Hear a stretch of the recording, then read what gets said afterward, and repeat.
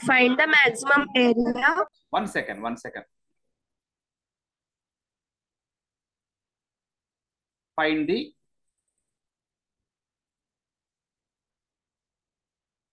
find the maximum ఏరియానా find the Yes. Maximum area of The triangle find the maximum area of the triangle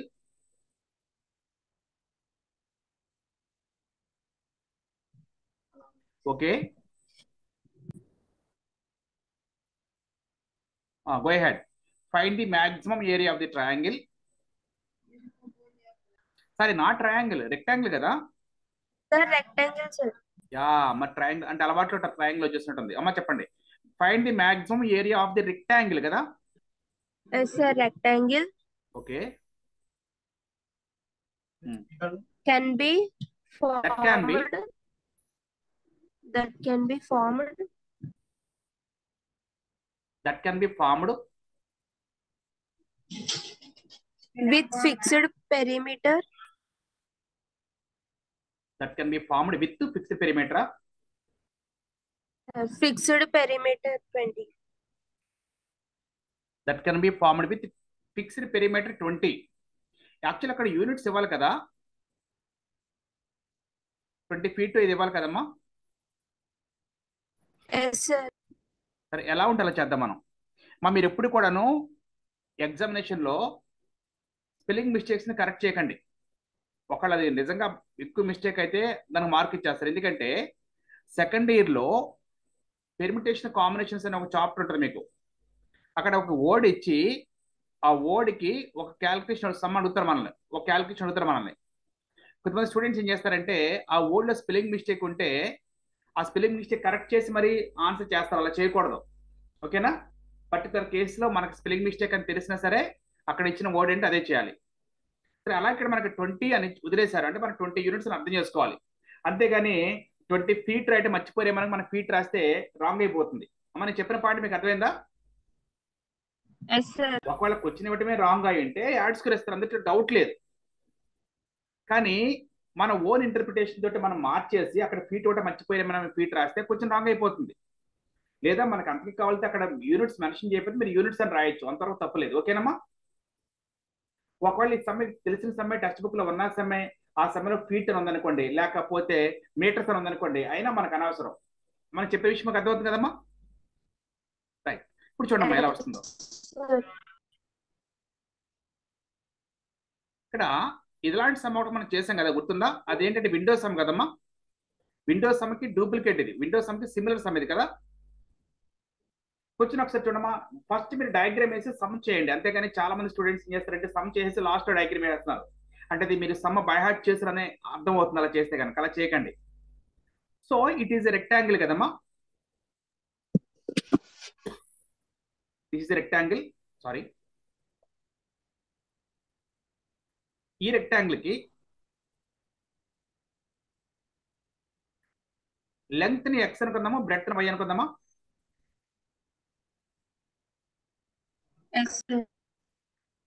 x ఏమో length breadth ఏమో why అనుకోండి let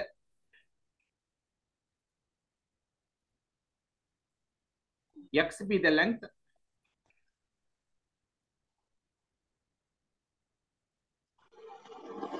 and y be the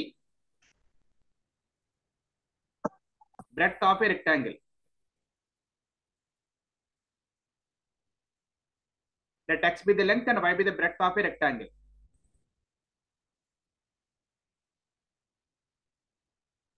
ఇప్పుడు perimeter ఏమవుతుందమ్మా perimeter కనుక formula two into L plus B కదా perimeter formula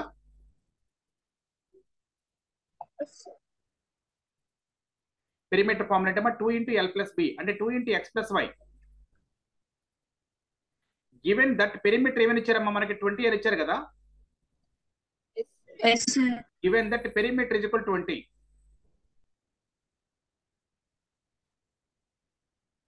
given that perimeter is equal twenty